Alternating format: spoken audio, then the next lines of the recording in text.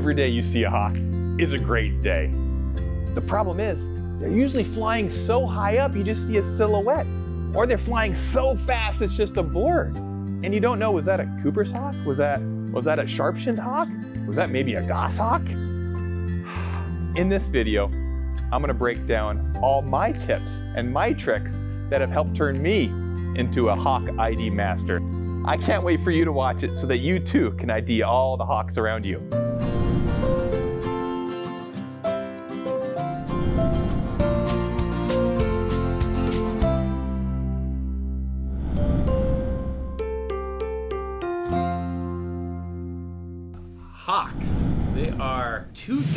Types of hawks in North America.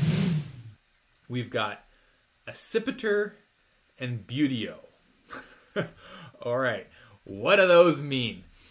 Uh, they are fancy scientific words. Uh, let me break it down for you. There's small hawks and large hawks. There's ones with long, skinny tails and short, rounded, fat tails. That's the difference. So the long, skinny are the accipiters or serpent-tailed, I call them. So accipiter sounds like serpent. They've got the long snake tail.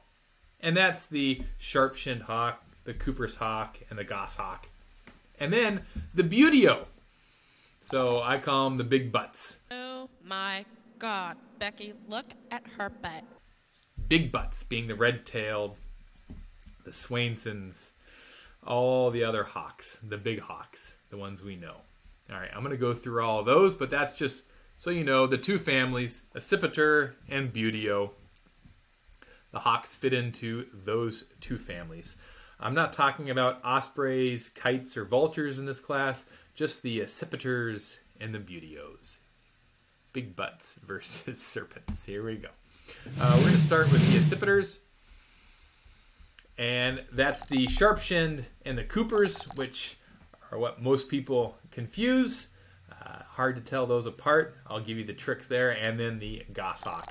Uh, used to be called the northern goshawk, but just in 2023, uh, their name was changed to the American goshawk. And they did that because they split uh, European version and the American version. They used to be lumped together, now they're split. So they needed a new name. And so they chose the American goshawk. So here's starting with the accipiters, the long skinny tails. Uh, starting at the smallest is the sharp shinned. It's a small hawk, right? It's the size a little bit bigger than a robin. Uh, and it gets its name from its exposed shins there. The Cooper's hawk also has that, so not to be confused. But yeah, these shins are skinnier than the Cooper's hawk. And the way I remember these hawks is they're a rounded head. It's got this gray hood that goes from its back up its neck and over to its crown. Uh, you can see in this photo here how it continues all the way up to the uh, the top. It's wearing a hood. The Cooper's hawk is detached. It's got a black cap. The sharp shinned is attached. It's wearing that hoodie. It's in my Instagram video, I call it a bug-eyed weirdo because it kind of has a, a, a surprised look on its face. It's it doesn't look like a menacing hawk that a Cooper's hawk have.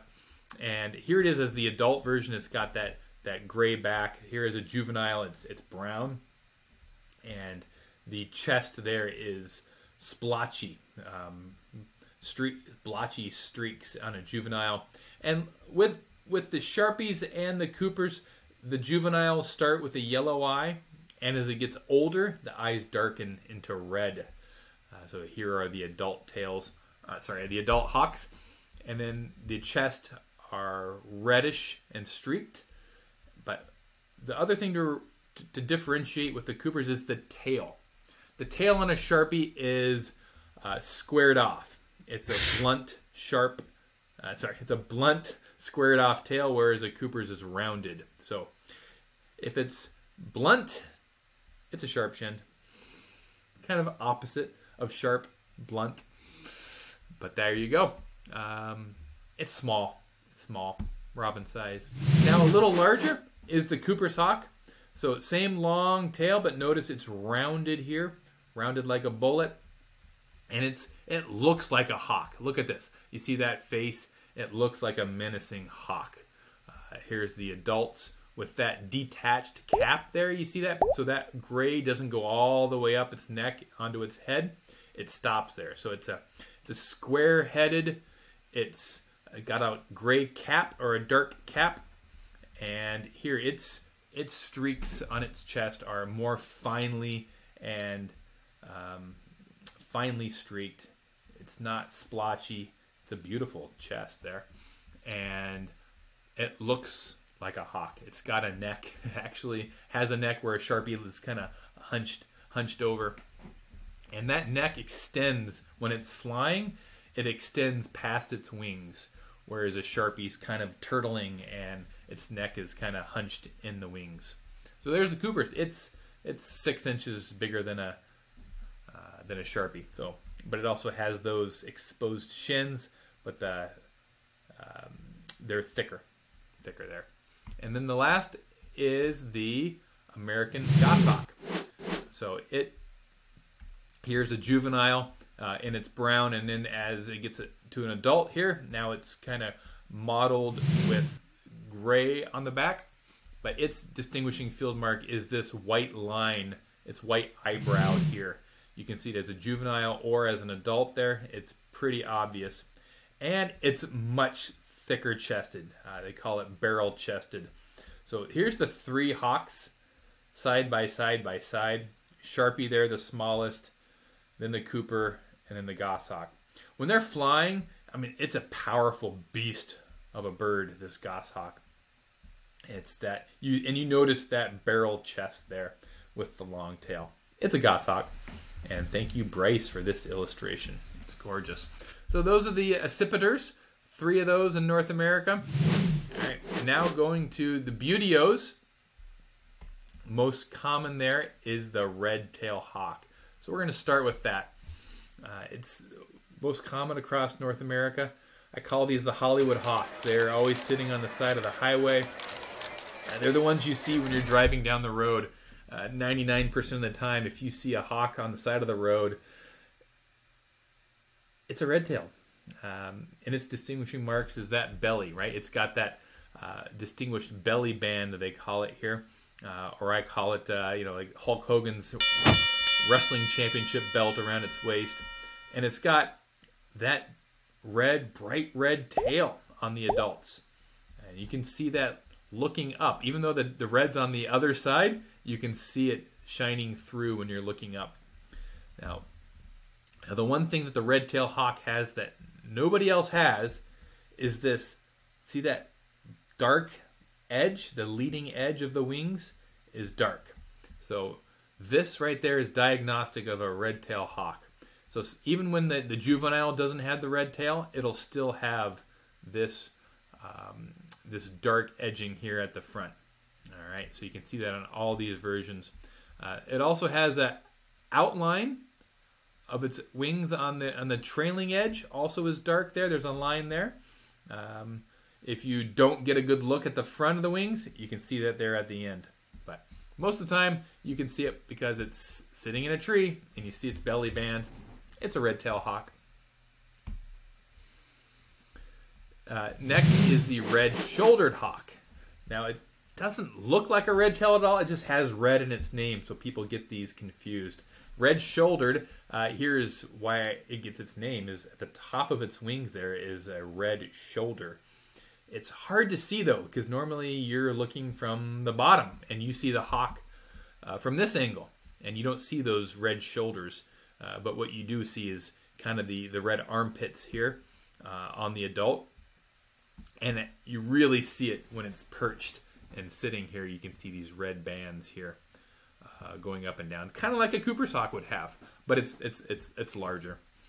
So look for the red under the wings, and look for these windows. You're like, what? A window? That's right. You see flashes here under its wing. It's almost like you can see through the wings of the bird. So these uh, crescent-shaped windows, they call them, uh, is diagnostic of a red-shouldered hawk. So you see kind of glitter in the in, in the hawk's wings because the sun is shining through. That's a red-shouldered hawk. Even if you can't see any color, all you see is the outline. You'll see these these comma or these crescent windows shining through. Uh, that's fun to, to to identify a bird, and everyone's like, "How did you identify that?" Well, you didn't see it; it's way up high. Well, you can see those windows, and you know it's a red-shouldered hawk. All right, so another common hawk across North America is the broad-winged hawk. Now, these guys love the forest. Um, they are secretive hawks to me, at least when I when I come across them. They're they're deep in the forest. They're they're sitting there on a tree in an exposed branch, and they're staring right at you. Uh, I love coming across a broad-winged hawk. Um, it's smaller. It's more compact. Uh, what you're looking for there is this single white stripe. See that in its tail? That single white stripe there. And then the black line on the trailing edge of its wings. Kind of like a red-tailed hawk has, but that black stripe there and the white stripe. All right. They are also pretty clean underneath their wings. So it's pretty clean white under here on their wings. Broad-winged hawk. Uh, next is a Swainson hawk. Yeah, the Swainson's hawk. Yeah, so found out west, uh, more so than in the east, and kind of kind of a loner bird, seen uh, solitary. Um, and you can identify them by their their brown hood. You see, it's wearing this hood there. It looks like it's got a brown hoodie on, uh, and it's it's a little slenderer than a red tail hawk, and it's got long wings there. And you can see it's got two types of morphs. There's a, a dark morph here, and when you compare it to the white morph over here. Yeah, so the, the white is way more common. So if I identify it here with that brown hood, and in the dark you can't see the hood because it's all brown. You know, on the farmland, on the prairie, um, a buteo that's by itself, uh, perched there with that brown hood. It's a Swainson's hawk. Beautiful bird. Uh, Ruffy, the Ruffy, uh, we call them here in Ontario, the rough-legged hawk. It's a mottled bird. You know, no two Ruffies look alike. Uh, they got these dark patches. Uh, it looks like it's thrown together. You know, so, someone threw paint at the canvas. Uh, however, it's hit. That's the way a rough-legged hawk looks. Uh, It's it's also a it's a it's a winter bird, right? It's a um, it's a migrant highly migratory bird. They're also like the snowies chasing the winter mice down south, and because they're used to the snow in the Arctic, uh, they got um, they got fur or feathers all the way down their legs. So that's kind of how they get their name, rough-legged. And look for these dark patches under their belly. Uh, look for them in the same habitat as a short-eared owl. They're hunting over farmland. Uh, they're perched in the trees near the farmland. Yeah, look for them just sitting on a fence post uh, near a farmer's field or in a tree overlooking the farm. Uh, they're not they're not far away from open spaces. Yeah, rough-legged hawk.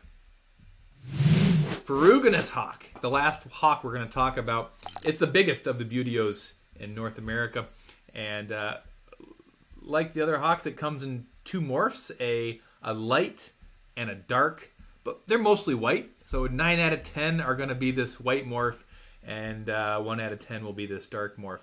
But what what you see on a ferruginous is this long gape. So it's kind of their mouth, the edge of their mouth there. Look how long that is, and you can see it both in the dark and the light morph. It's huge, uh, and a long bill, long gape, and then look for the the clean white belly. All right, um, the red tail hawk will have a, a belly band where this is is clean white. Um, under the wings, it's kind of like the red shouldered hawk where it's got that um, kind of the red on the un- under wings, uh, but it's much bigger, much bigger. So ferruginous, what it means like how does it get its name? What does this even mean? This is a word that people used 200 years ago, not now. As ferruginous is is rust colored or um, reddish brown, and so that's just that color. Uh, you see that on the top of the wings and underneath ferruginous. Um, who knows? Maybe you can use it now in a sentence. ferruginous. Thanks for watching. You know, consistently, my number one question from you guys is, is this a Cooper's hawk or a sharp-shinned hawk? No matter how many times I watch the video, you watch the video, you're gonna have a doubt. Please, send me the video. Don't be shy.